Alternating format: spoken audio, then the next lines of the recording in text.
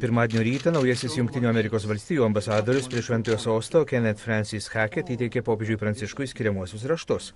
Misiją pradedantis ambasadorius gimė 1947 metais, 30 mečius dirbo pagrindinėje Junktinių valstijų katalikiškoje pagalbos organizacijoje Catholic Relief Service. Keletą metų buvo jos vadovas, buvo taip pat popiežiškosios Korunum tarybos narys.